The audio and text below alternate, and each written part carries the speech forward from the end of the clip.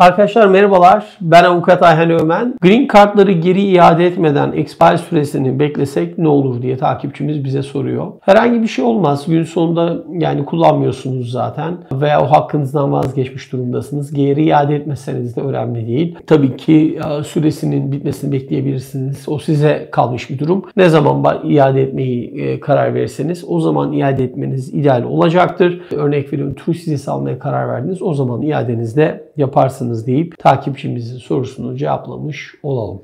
Müzik